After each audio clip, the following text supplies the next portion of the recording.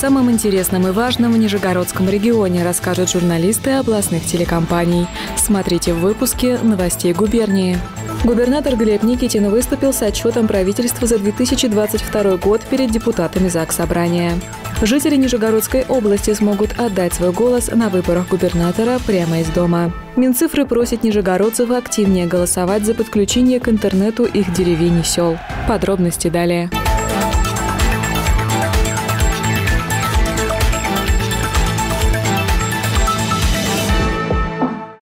Каждый раз мне искренне хочется начать свое выступление э, словами, каким э, был год благополучным, спокойным э, значит, и исключительно э, нормальным, но каждый раз не получается произнести это слово. То есть каждый год у нас своеобразный и отличающийся непредсказуемыми новыми вызовами, проблемами, рисками. Не дает нам ситуация, конъюнктура расслабится ни на минуту. Главный вызов прошлого года – специальная военная операция. Благодаря накопленному опыту правительства региона в социальной сфере соцконтракты были доработаны до военных, подставив крепкое плечо власти семьям мобилизованных, а затем и контрактникам. На сегодня заключено более 10 тысяч таких контрактов на сумму почти миллиард рублей. Направлено более 350 конвоев в воинские части. И я знаю, что э, многие из вас э, участвуют в этой работе. Мне кажется, даже большинство. И хотел выразить всем искренние слова благодарности за неравнодушие и и поддержку. В целом социальная сфера благодаря серьезной финансовой поддержке заметно меняется в лучшую сторону по каждому направлению. В первичном звене здравоохранения только за прошлый год капитально было отремонтировано более 200 объектов. Было закуплено 300 единиц современного медицинского оборудования и 351 машина. В 2022 году были введены в эксплуатацию 28 ФАПов, а всего за 5 лет их появилось 67. Для нас медицина это очень важно. Э, итоговый результат – это снижение смертности. Мы уже видели от отчета губернатора, что, например, по молодежной смертности, на самом деле, очень важный момент, за 5 лет она снизилась на 1,6%. Э, это очень эффективный, хороший результат на самом деле. Смертность от сердечно-сосудистых заболеваний снизилась по отношению к предыдущему году на 12,5%. Хорошо известный вам проект «Поезда здоровья» позволил охватить осмотрами почти 125 тысяч человек. В регионе активно развивается санитарная авиация. За пять лет эвакуировано 1322 человека. А еще капитальный ремонт Нижегородской областной детской клинической больницы, развитие центров амбулаторной онкологической помощи. В этом году был открыт региональный сосудистый центр в Арзамасе. Особое внимание не только инфраструктурным преобразованием, но и кадрам. По федеральным программам «Земский доктор» и «Земский фельдшер» за пять лет было привлечено более более 400 специалистов. Безусловно, э, фундаментом технологического суверенитета нашего региона и страны являются высокопрофессиональные кадры. Э, начну с э, основной, наверное, составляющей работы с ними. Это образование. Профессиональную траекторию мы выстраиваем еще со школьной скамьи. Развиваем якорную образовательную инфраструктуру нового формата, где и архитектурная концепция, и наполнение, образовательная модель, и траектории.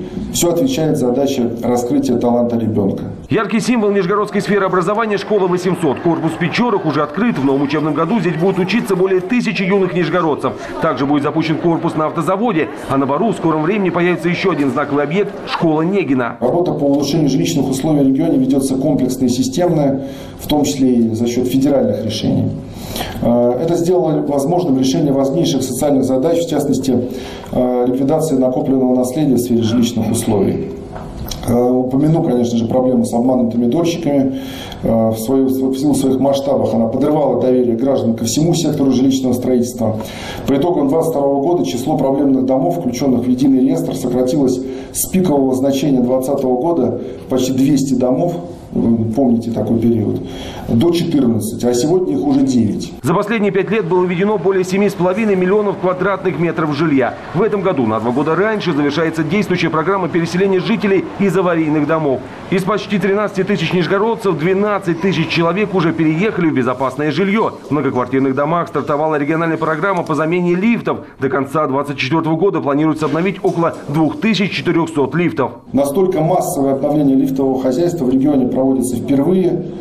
я думаю, что не только в нашем регионе. В текущем году заменим почти тысячу лифтов, из них почти по 300 уже работы завершены. А всего э, до конца 2024 года планируется обновить э, около 2400 э, лифтов.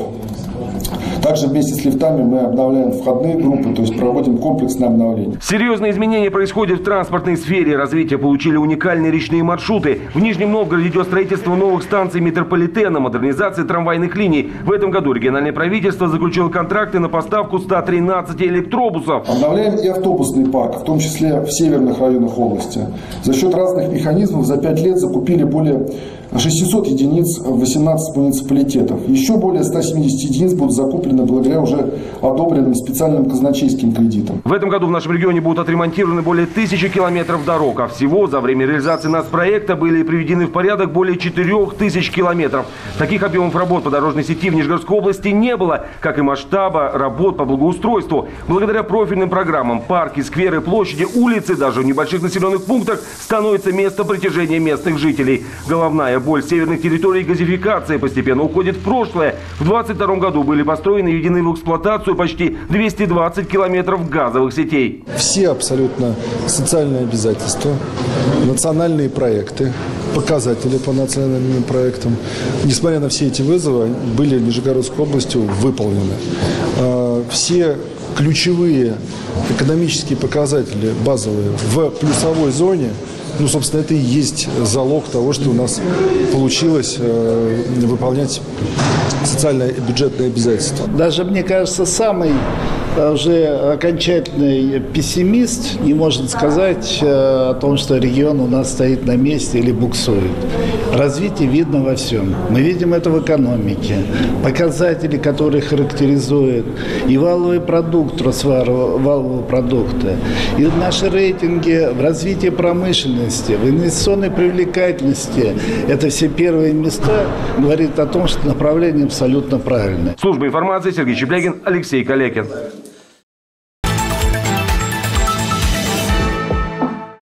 Региональные Минцифры просят нижегородцев активнее голосовать за подключение к интернету их деревень и сел. Чем больше жителей проголосуют, тем больше вероятность, что уже в 2024 году в выбранном населенном пункте появится интернет.